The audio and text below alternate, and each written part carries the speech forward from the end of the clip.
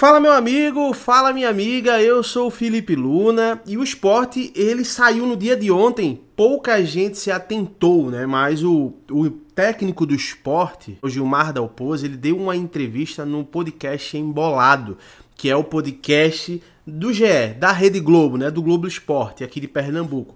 E esse podcast, ele acabou falando algumas coisas bem interessantes. Eu vou fazer alguns vídeos falando sobre alguns temas que ele falou nesse podcast, muito interessante. Inclusive, ele até falou nesse vídeo aí da situação que jogaram um copo nele. Achei muito de uma grandeza muito grande dele, ele falando que que ficou chateado, mas que perdoou o torcedor e convidou o torcedor, inclusive, para conhecer lá a Ilha do Retiro, um treino, enfim tá dando um exemplo aí de, de, de, de, de realmente de, de, empatia com o cara, né? Empatia que eu falo é porque o cara fez uma bobagem, ele tá acabando querendo a, a, querendo perdoando o cara e querendo ajudar. Essa aqui é a verdade. Só que nesse podcast ele falou duas coisas, cara, duas coisas que pegou na minha cabeça. Uma excelente notícia, uma notícia maravilhosa. E uma notícia que me preocupa demais, uma notícia terrível realmente aqui. E que é muito preocupante e que é importante que a torcida faça pressão para que isso não aconteça. De fato, eu sou um cara que não gosta de ficar atiçando, mas é importante que o torcedor faça pressão com relação a isso. Vou estar tá falando aqui sobre essas duas notícias que saíram aqui. Só quero pedir para você o seguinte, cara, não tá inscrito aqui, clica no botão de inscrever porque a gente tá faltando agora 105 pessoas para a gente chegar a 22 mil inscritos aqui no canal, cara. 22 mil inscritos. Eu queria muito bater esse mês ainda, então Conto com a moral de você aí, se não é inscrito aqui, dá essa confiança pra gente. Clica no botão de inscrever e você que já é inscrito aqui, cara, muito obrigado pela moral. Vamos continuar junto que eu vou trazer muito conteúdo aqui para vocês, pode ficar certo disso. E agora que vocês fizeram tudo isso, vamos lá falar dessas duas notícias, uma maravilhosa e uma terrível no Esporte Recife.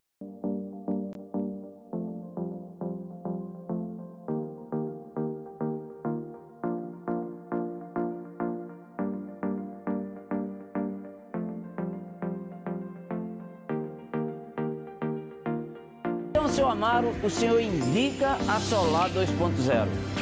Indico, indico sim. Pode fechar com a Solar 2.0 que eu garanto. Esse é o cara. Solar 2.0, todo mundo ganha.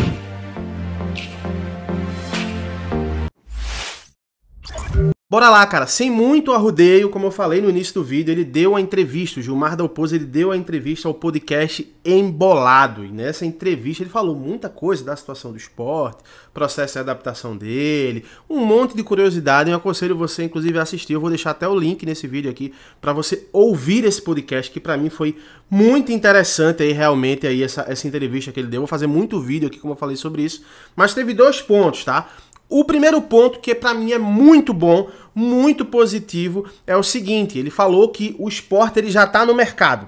Ele já está no mercado monitorando os jogadores, mapeando o mercado realmente. E, e ao que deu a entender, ele já está conversando o esporte com alguns jogadores para na próxima janela, no dia 15 de julho, o esporte já começar a contratar. Isso é muito bom, por quê? Porque o discurso que a gente ouvia do esporte antes era um discurso que ia contratar, mas que não ia fazer muita loucura, então dava a entender para a gente que havia algumas apostas para o esporte. Isso era muito preocupante, mas ele falou que, com essas palavras, tá? De que tem que contratar jogadores que cheguem para resolver. E principalmente jogadores no setor de ataque, que realmente é o setor mais deficiente do esporte.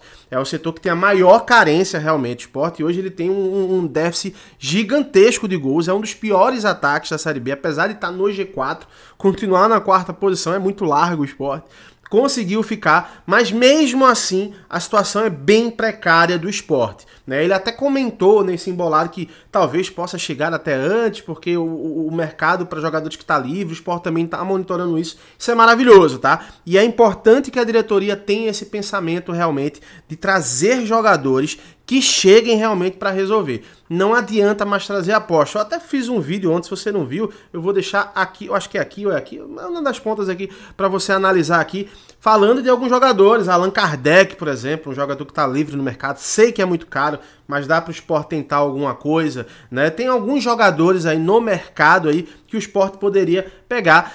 Mas essa é a primeira notícia excelente que ele falou nesse, nesse podcast. Agora teve uma outra situação que para mim foi terrível, terrível. Perguntado sobre os contratos de renovação, ele falou sobre o Maílson, né? Que o Maílson, ele conversou com o Maílson para tentar convencê-lo a ficar, porque ele também foi goleiro. Eu vou fazer um outro vídeo para falar diretamente sobre isso. Mas dentro disso, foi falado sobre o Rodrigão, que o Rodrigão saiu, infelizmente ele não deu certo, sofreu com as lesões. Só que o Gilmar Dalpoza, ele falou que segundo ele aí, a diretoria, ela não vai colocar como prioridade contratar um centroavante que vai tentar dar moral e confiança para os jogadores que tem na posição, que hoje o esporte tem o Búfalo, o Kaique, que não tá jogando absolutamente nada, e o Flávio da base. Cara, isso é muito perigoso. Muito perigoso. Porque se você faz isso, você vai condicionar a, a, a, o ponto final do gol do esporte, que é o centroavante ali, a um jogador como o Búfalo, que não é um jogador que passa confiança. Para mim, eu gosto do futebol do Búfalo. Para mim é um jogador interessante mas não é aquele jogador que passa confiança, né? Ele consegue jogar a última bola ali. Se ele tiver que armar para chutar, se ele tiver que dominar, se ele tiver que virar, é sempre complicado, né? Esse é o problema. Então, assim, você condicionar o ataque do esporte só ao Búfalo, ao Kaique, que chegou e não tá fazendo nada, e ao Flávio, que é um menino da base, cara, é um perigo muito, mas muito grande. O esporte precisa urgentemente trazer um centroavante. Eles falam que não é prioridade na entrevista, mas, cara, não tem como não ser prioridade. Né? Você tem que ter um jogador que saiba fazer gol. Esse jogador, para mim, era o Rodrigão, tá? O Rodrigão não era para ter sido dispensado, não. Infelizmente, as lesões acabaram deixando ele em maus lençóis ali com a diretoria, com a comissão técnica, né? Não pelo Rodrigão, mas por, por, pela lesão que aconteceu no tornozelo dele. Já que tirou, tem que repor sim. Você não pode condicionar só o Búfalo, só o Flávio e só o Kaique. O Flávio é um menino muito jovem. Eu acredito que o ano do Flávio vai ser o ano que vem. Ser um menino que pode estourar no próximo ano, sim. Né? E o Kaique, cara, não tem condição não tem condição nenhuma. Eles têm umas características muito diferentes. Então, assim, eu nem vejo o Kaique como centroavante. Ele cai muito mais pelas pontas, né? Um jogador mais veloz ali naquele processo. Acho que ele até está sendo utilizado de forma errada.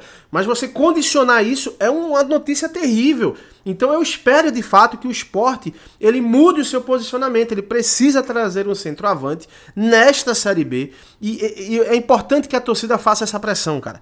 Porque se não tiver essa pressão externa, para a diretoria realmente entender, né, acordar de fato que é uma posição que realmente é necessária para o esporte, isso não vai mudar. Isso não vai mudar. Condicionar o ataque do esporte ao Búfalo, ao Flávio ao Kaique é loucura total. Então eu espero de fato que eles mudem a postura dele. Isso me deixou muito preocupado. Tá ouvindo a entrevista inteira, foi maravilhosa. Quando chegou nesse ponto, eu fiquei extremamente preocupado. Então eu espero de fato aí que essa notícia terrível não aconteça e que de fato eles tragam um centroavante. Mas eu quero ver a opinião de vocês. Vocês acham que, como eu achei aqui, essa notícia é terrível, cara? Não tem como condicionar só o Búfalo, ao Flávio e ao Kaique? Deixa aqui nos comentários. Agora deixa aqui e justifica, tá? Pra gente tentar aqui chegar num, juntos aqui num denominador comum, porque eu fiquei demais preocupado com isso. E é claro, cara, se tiver qualquer outra informação, eu volto. Vou voltar, acho que amanhã, tá? Por conta das fortes chuvas. Inclusive, quero, quero prestar aqui a minha solidariedade para quem teve algum problema de enchente na sua casa, né? Que Deus possa aí é, ajudar vocês aí nesse momento difícil aí, tá? E que é, vai passar né? Depois da chuva, sempre vem aí, depois da tempestade, sempre vem a bonança, sempre vem os bons momentos. Então, vai passar e daqui a pouco vai ficar tudo bem, tá bom? Um abração para todo mundo, até a próxima. Tchau, tchau.